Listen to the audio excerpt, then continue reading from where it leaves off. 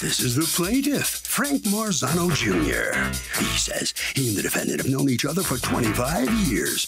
And when the guy got down on his luck, he stepped in to help him out. He loaned him money and some of his video games, which the louse secretly sold to a video game store. He foolishly trusted the guy because he knew him for so long, but long-time friend or not, he's suing him for the $2,504 he's owed.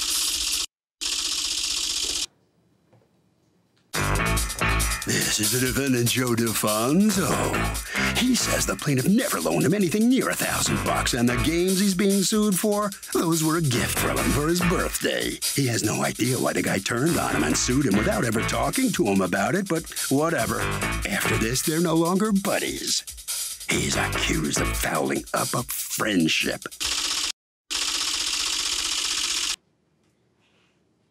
All parties, please use your right hand. Welcome back to the People's Court. Next case on the docket. These litigants knew each other for 25 years. The plaintiff loaned the defendant money in video games, which the guy sold. Now, the defendant says the plaintiff is overblowing the whole thing. It's the case of Minecraft and Mind Games. Thank you, Douglas. You're welcome, ma'am. Okay. Frank Marzano, Yes. you're suing your former friend Joe DeFonso Yes. for $2,504 in games that you say he was supposed to return to you and didn't, video games, plus a $1,000 loan. And you deny that that occurred. Let me hear from you. What happened? Um, around um, February of 2018, we started working together. Uh, once we started working together, our friendship had gone on from 27 years prior to that. Uh, but once we started working together, every couple of weeks it was, can I borrow $20 here, $100 there? Was constantly borrowing money. Now, did you get him the job? Yeah, I did, yes. Okay, and how? Where had you run into him or reconnected with him? Uh, we actually lived pretty close together, uh, about eight blocks away. Uh, I ran into him in a store. Okay, so you start working together, and then he would hit you up for twenty dollars here. And Hundred dollars there, sixty dollars there. okay, how did you keep track of all the money that you were loaning? Honestly, it was a friend. I, I really didn't think about it. so why should I believe you when you say it's a thousand if you have no proof of how much it is? I don't have a proof of exactly how much Yeah, it I deal in exactly. That's what that's I what we do in court. So you're estimating it's a thousand, and you're estimating it's how much? Probably a little more than 200, nowhere near a 1,000. Right. And then you're both just so busy playing video games that neither of you have anything in writing of Once- any of the loans that went back and forth and what's been paid and what hasn't been paid, right? I'm just supposed to look at a crystal ball and figure it out. All right, so now talk to me about the video games.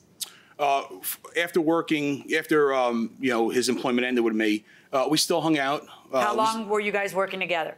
Four and a half months, five months. Okay. So um, after that, we would still hang out maybe once or twice a month, play video games, stuff like that. Um, mainly old games. Um, I was a collector. I collect games. I collect also old toys, stuff like that.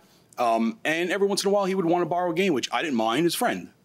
You know, why would I not lend a friend to a game, uh, a game to a friend? Well, according You know? to you, you're suing for like 20 games that you loaned him I and he did. didn't return. So after he doesn't return the first one, why would you loan him another one? Well, uh, the first time I lent them games, it was about six of them. Okay. and did that, he return those before you loaned him never, anymore? no. Right. So why loan him anymore? Right? No, I understand. Because according to you, did he loan you 20 games? I don't think it was that amount, nearly that amount. But This is no way to go through life, gentlemen. no, it Your definitely Honor, it isn't. wasn't, No. it wasn't not. 20 games, Your Honor. 17. That's how many you're suing for in this list. Castlevania Dracula, Mighty Final Fight, Metal Gear, Metal Gear Snake's Revenge, Lemmings, Contraforce, Superboy S, Game Boy Loaded, Vita with three games. All right. Um, where are his games? Uh, I brought some here. Okay, let's see what he's got there. Hand it over to the plaintiff. Thank you, sir.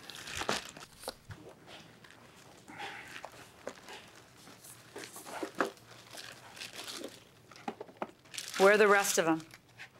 From what I had, that's Okay, so which ones are those that we can take off the list? I don't want to be picky, Your Honor. This is a bootleg. Yes, you do. Okay. Go This, this is a bootleg that's worth about twenty dollars on a, on a. That's not market. something you loaned him. Absolutely not. The Okay. game that I loaned him was worth about two hundred fifty dollars. It was Got a it. legitimate original game. This is a copy. Okay.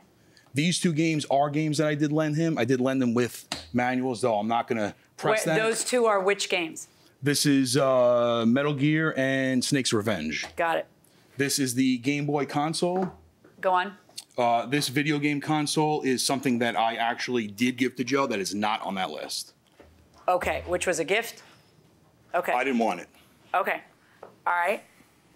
Where the rest of the stuff he says you have? Well, that's You have I- a theory of where the rest of the stuff is, I right? know where they are. Where are they? He sold them to a video game store that we used to go to to buy and sell games. How do you know that?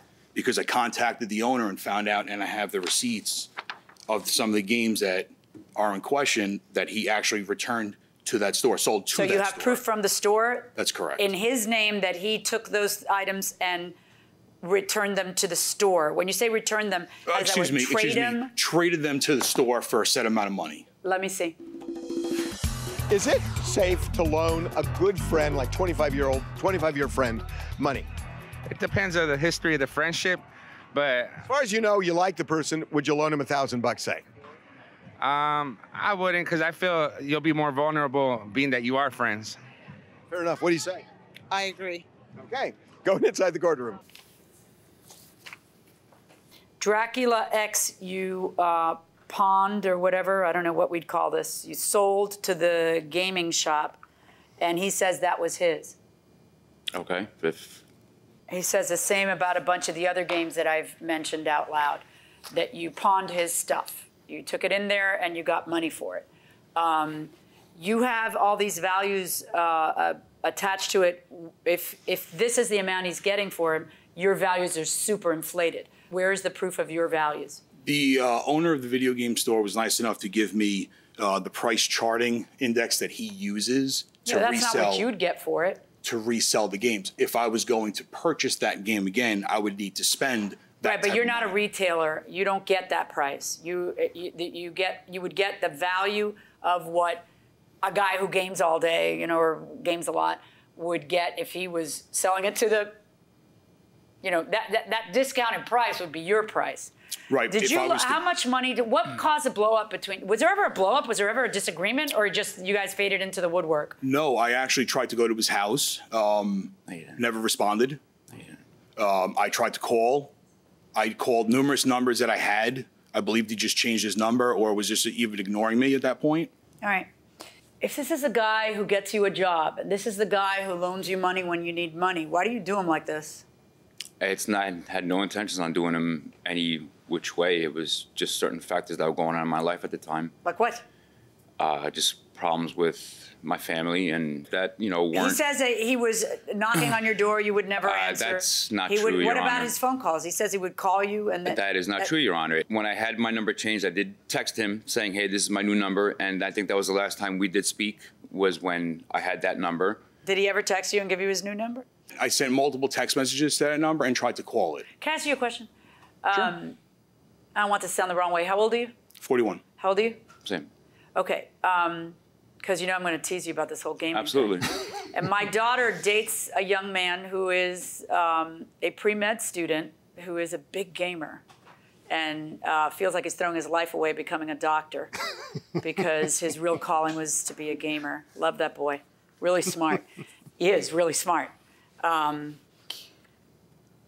uh, I don't. I don't get it. It's not my thing. Everybody has something different. This is somebody else might like to needlepoint. It's just that this. I, I just like it's. You know, it's it's ended up in court. You're asking for retail prices as opposed to the price your evidence shows it should be worth. You're. I don't know how many of those games are his. Yeah, okay. If he says I pawned one of his, then I did. It's like my problem isn't that you're gamers. My problem is that you're so informal for grown men about stuff like this. But then you want to come to court and you want me to be formal and give a formal ruling. Um, based on those figures, I'm going to do a little rough justice and figure out, you know, kind of with you coming in here really empty handed in terms of proof of what went over there, how much money was loaned, and everything else. He admits to 200. That's what you've been able to prove. If you want 1,000, prove you loaned him 1,000. People do that every day in front of me. They have texts that show it. But there's so many different ways to show that somebody owes you a thousand dollars. If I would have had my old phone with our text messages on it, we wouldn't have been here right now.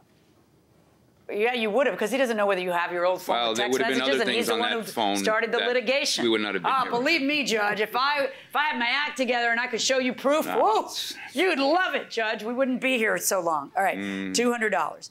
Um, and in terms of the games, based on what you've circled, it's very hard because he does the, the fellow who he sells them to doesn't itemize it, just gives like a, a blanket amount.